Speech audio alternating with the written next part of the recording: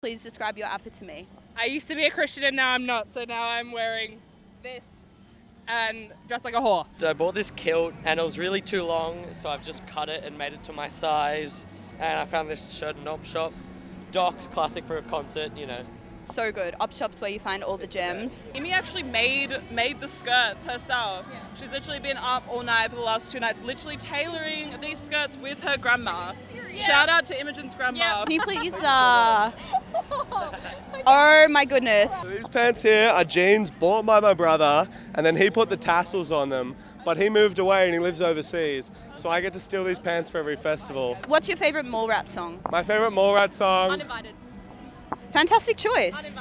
You can say the same thing if you're not sure. Am I allowed to say groceries or is that? Yes, yeah. It's groceries. It's a I hit. want to get groceries and say you want to get close to me. Just 'em, giving It's an undeniable hit. Is that how it's supposed to be?